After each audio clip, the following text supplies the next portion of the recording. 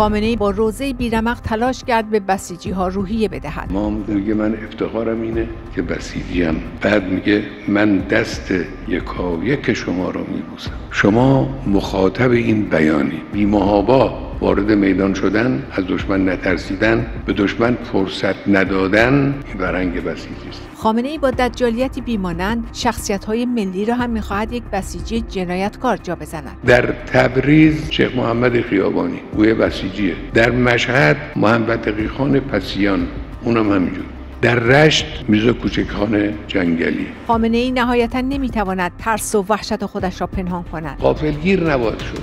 مراقب نفوذ دشمن در درون مجموعه بسیج باشه. خامنه ای با تاکید بر اینکه عقب نشینی نمی کند نشان داد که جز زبان قهر نمی‌فهمد. آیا سخنان خامنه ای ناشی از بحرانی عمیق در درون نیروهای خودش نیست؟